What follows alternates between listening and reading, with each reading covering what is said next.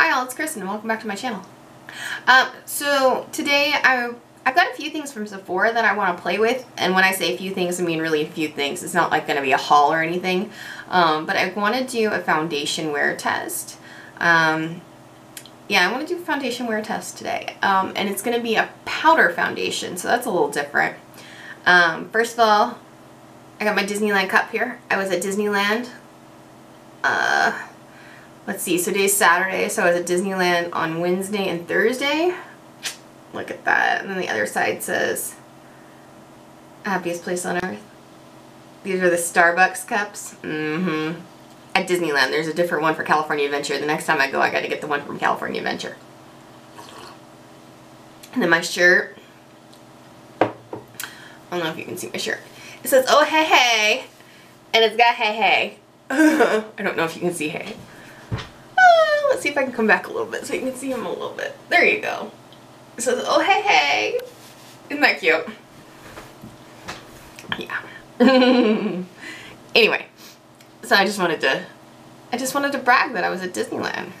And I just wanted to show you my cup and my shirt. Okay, so before I went to Disneyland though, I ordered a couple of things from Sephora. Um, so I ordered a foundation and a cream. I ordered the Charlotte Tilbury Magic Cream. I've heard amazing things about this. And I wanted to put this on before I started my makeup because, like I said, I am going to use a powder foundation today. And I I have dry skin, so I'm like, but the Tayla, who, okay, I have normal to dry skin. And the Tayla seems to have pretty similar skin type to me. She loves this foundation. So I'm like, okay, you know what, we'll give it a try. So this is the fancy Charlotte Tilbury. I don't know why I think that I'm a Charlotte Tilbury girl now. Like, it's expensive stuff. This jar is 0.52 fluid ounces or 15 milliliters and it's $29. I don't imagine you need a lot, but we'll see.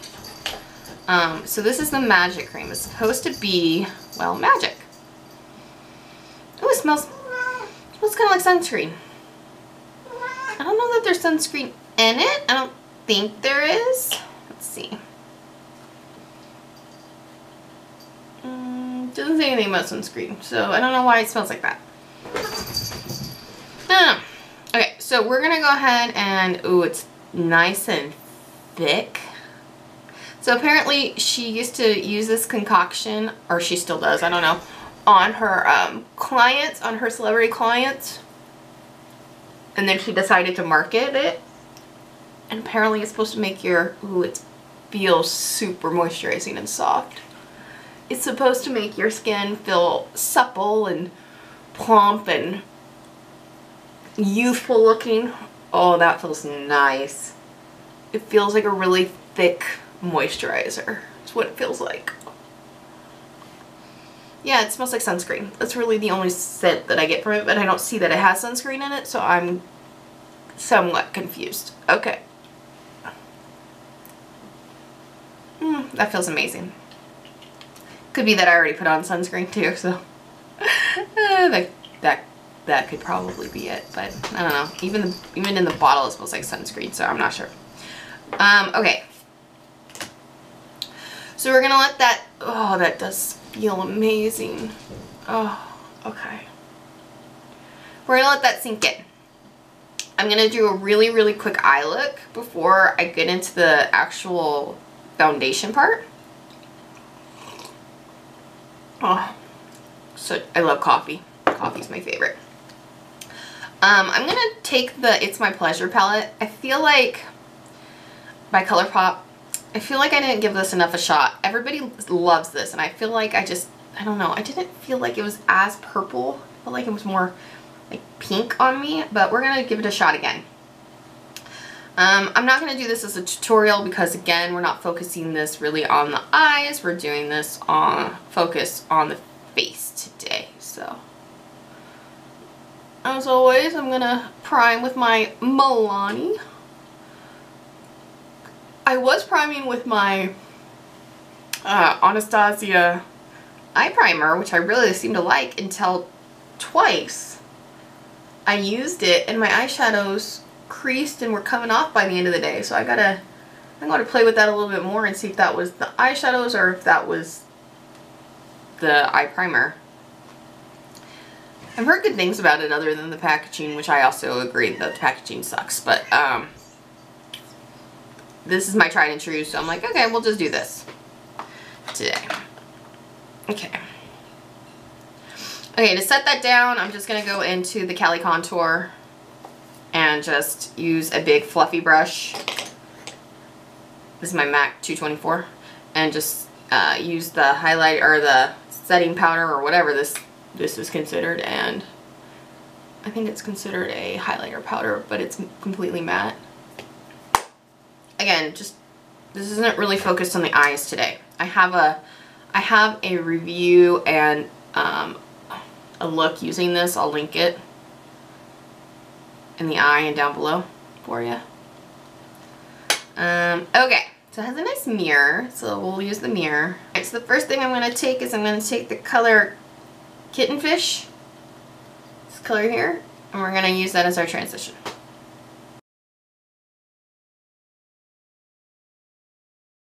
So now I'm going to take the color Fan Fiction, and I'm going to direct that more more into the crease. You see, it, I don't know, maybe it, it's like a, it's definitely purple, but it's like a pinky purple. I don't know. It's not as purple as I want it to be. I don't know. Maybe I'm crazy. I feel like it leans very pink on me. still definitely purple, but it leans kind of pink.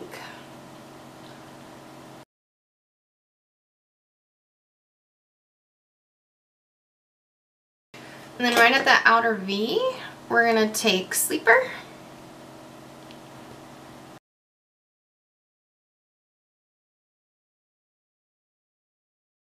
Now I'm going to take the color Dew or Dough, which is this color right here in the middle, and I'm going to put that on the eyelid.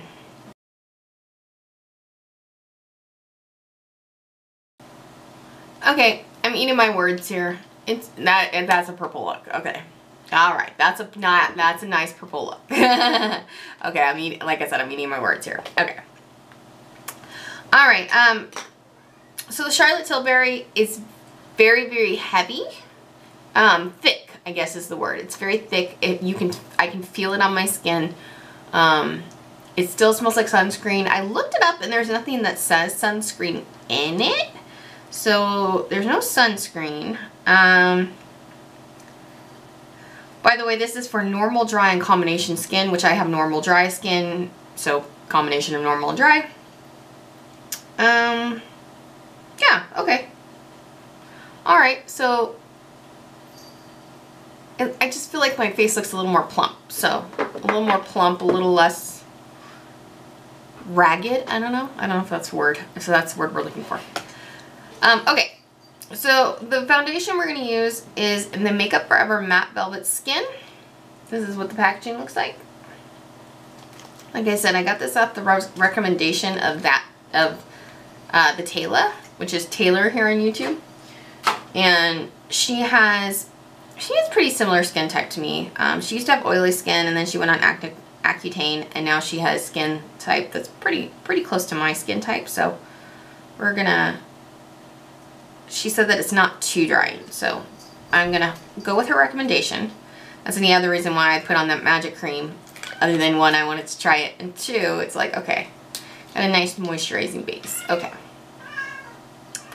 So this is what the inside looks like. So that's the color. This is the color Y225 because I am a little more tan. In this in the winter I will have to go down quite a bit. And then there's like a little applicator right here, which everybody that I've uh, seen use this, they recommend using the applicator. And I don't have like a, I don't have a buffing brush for powders. So today I am going to use this. Now there's something about the white, the black and the white side. Let's, let's read, shall we? Um, for optimal coverage, apply the foundation using the black side of the sponge. Use the white side for a lighter makeup look. Okay. So let's try, let's try the white side on this side and the blacks. Actually, you know what? I have some hyperpigmentation here. So let's try the the black side, or the white side on this side and the black side on this side and see what we can cover. Shall we? So the white side, this side. Alright, so I'm getting some powder on here. Ooh, it looks a little bit dark, but I did test it, so it should be okay. And I'm just going to press it in.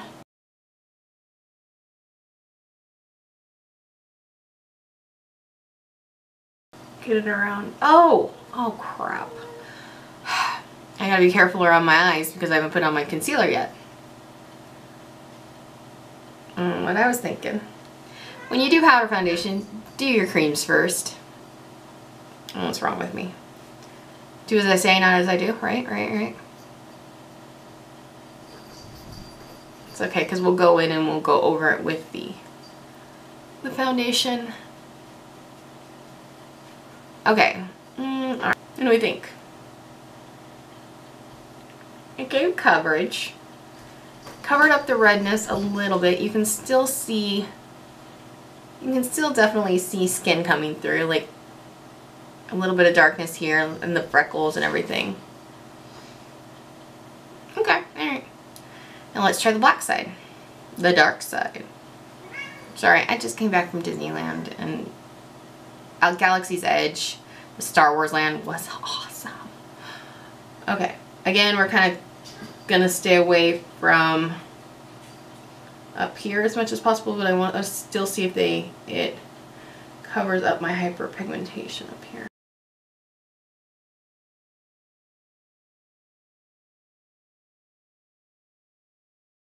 Nose got a little, despite the, I had sunscreen on and I had a, um, the IT Cosmetics CC cream that has SPF 50 in it and my forehead and my nose still still got a little, still got a little red. Let me really quickly do my concealer so that we can put powder underneath the eyes too.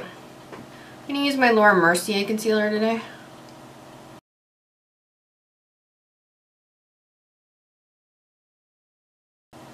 Okay, so now that my concealer is down, we can really like get into the other parts of it, like the other parts of it, you know what I mean. We can get all over the face, so let me set my concealer up here with the with the light side, with the white side. Again, I got to uh, I got to fly the Millennium Falcon. I didn't fly, I'm sorry. I was not the pilot. I was the gunner. So I got to shoot things, which was fun. Um, the wait times are amazingly long. However, they do have a single rider line, and uh, so the the wait time for just the regular line, the standby line was 90 minutes and um, for the single rider, rider line we waited 30 minutes I think, 30, between 30 and 35. It was awesome. It was still a long wait but it was worth it. So if you ever go, hopefully the, the crowds will be dwindling down now that it's been open for about a month. Give it another two months Maybe it won't be as long. Okay, what do we think? I like it. It has really good coverage. I don't know that I really see a difference in the coverage on either side, though it did really cover up this hyperpigmentation very nicely. So maybe I do like the darker side better. Sorry about my cats. They're they're talkative today. Oh. So there we go. Okay, alright. I like the way it looks. I really do. I like the way it looks. It looks very... I can't seem to cover up the redness on my nose. um, but it looks, it looks smooth. It doesn't look too powdery. I need to stop before it looks powdery. Okay, alright. What do you think? I don't think it looks too powdery. I don't think it looks too bad. I think it looks pretty nice. Um, it doesn't feel... How sometimes powders can feel make your skin feel tight? I don't know if that's a thing that only I'm making up, but I feel like sometimes they can make them feel tight and like really dry. That's not happening here. It, I don't really, it doesn't really, other than right around my nose where I've been powdering quite a bit, I don't feel it on my skin, which is very nice for, for for a dry girl, a girl who has mostly dry skin, that's good that I don't feel it on my skin. So, yeah, okay. Okay, so I'm gonna do, I'm gonna, I'm gonna finish the eyes and do my, um, my face, my bronzer, blush, highlighter, brows, lipsticks, and I'll be right back. Lipsticks, lipstick, I'll be right back. One minute. Well, for you, like, half a second, but I'll be right back. Okay, guys. Um, so I went ahead and used my uh, Benefit Brow Blade, not Benefit, mm -mm, Urban Decay Brow Blade, and used the um, the pencil side to fill my eyebrows. I opened up a new Tarte Lights Camera Lashes for my eye, for my mascara. I opened a new Lights Camera Lashes for my mascara. Um, for my for my bronzer, I use the Butter Bronzer by Physicians Formula. For my blush, I use Buxom Seychelles. For my highlighter, I don't know if I've shown this yet. I use the Samantha March and Ofra, I'm sorry, it's Ofra and March Beauty Word, who is Samantha March on YouTube. I use their highlighter collab, or their collab highlighter, excuse me. Um, so this is a mixture of Ofra's Pillow Talk and Star Island. And I mostly use the pink, which is um, Pillow Talk. I use that to my inner highlight for my for my eyes and then also on my face. Um, my lips, I use the Sephora Collection uh, Rogue, the Melting Lip Clips, Clicks. Melting Lip Clicks and the color Caramel, which is 01. So I think that's everything I used. Yeah. So the last thing I want to do is I want to set my face. Well, I'm going to use a, I'm, I want to use a setting spray. Um, I'm going to use the MAC Fix Plus and I'm going to use it in the uh, white tea version of it. I gotta say, again, it doesn't feel powdery. It doesn't feel heavy, except around my nose where I like really piled it on to cover that redness. But other than that, it, I don't think it looks powdery. It doesn't feel heavy. It doesn't feel powdery. So far, so good. I think the color match is pretty good um, when I brought it down my neck because I do have a little bit of a tan. So let's go ahead and set it.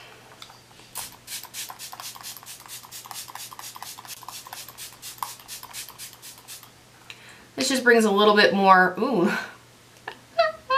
That made me very dewy, didn't it? Caught myself in the mirror back there. I was like, oh, okay. Um, little overboard on the setting spray. My bad. Uh, um, it'll it'll it'll settle down and it'll just help everything kind of look even less powdery. But I really don't think it looks powdery at all. So far, I'm really liking it. So I'm to do a wear test. I'm to wear it as long as I can. Right now, it is... So right now, it is 9.30 in the morning. I don't know if you can even see that. It's kind of hard to see. That is Zeus's temple in Greece, by the way. In Athens, Greece. So it's 9.30, well, 9.31 in the morning. We'll call it 9.30. Um, yeah, so I'll wear it as long as I can. I make no promises because I don't like to wear makeup for a long time if I don't have to. Uh, I'm not going to lie, there's probably a nap in my future, but there are errands and whoo, let's see how hot it's going to be today. Mm -hmm. So right now at 9.30 in the morning, it's 88 degrees and it is going to be a high, oh, it's only going to be 100 today.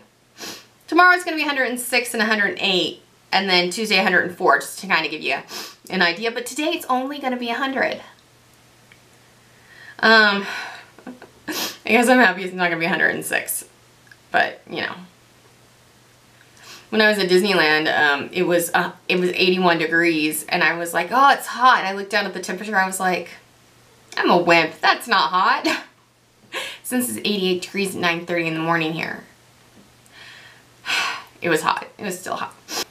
But I will check in with you at the end of the night before I take the makeup off and tell you how it wore, if it got heavy, things like that. So stay tuned for that. Okay, so it's the end of the night. It is, well, end of the night. That's not even true. It's 7.20. Again, I don't know if you can even see that, but it's 7.20 p.m. So, check-in was it, or we ended it. So I put this on about 9.30 in the morning, just under 10 hours. So, yeah. I took a nap. I went out in 100 degree weather. Uh, I cooked and basically did nothing all day and my hair looks really bad. So that's always fun. Okay. So it definitely came off around here, but I was having a runny nose and I've been wiping my nose. Came off of my, a little bit up here on my nose, but not bad. For having taken a nap, right here, my cheeks is actually pretty good. Um, my forehead looks good. Nothing looks really like overly dry is something that I really noticed about it, which I really liked. Um, for powder foundation, my face does not look overly dry. Um, I was wiping my eyes a little bit, so it definitely came off from underneath my eyes here, and you can see a little bit of that hyperpigmentation. But hmm, otherwise, I think it held up pretty good. I mean, I, I literally was like wiping at my face in some parts, port, ports, parts. but again, it doesn't look cakey anywhere. Sorry, probably making busy. Doesn't look cakey anywhere. Doesn't look really dry anywhere. I'm actually really impressed by this for a powder foundation. I'm really actually impressed by this. All right, but it is getting very, um, 10 hours in and I'm, I'm starting to feel it on my face. I didn't start to feel it until about half an hour ago, but I'm starting to feel it on my face. You know how at a certain point you're just like, ugh, makeup has to come off now. I'm at that point. Okay, so that's the end of that. So I'm gonna go ahead and wipe this off my face. I definitely really, first impressions, I like it. I like it a lot. So thank you as always for watching my video. Please give this a thumbs up if you liked it. Hit that subscribe button and that notification bell to be notified every time I upload. And I'll see you in my next one. Bye.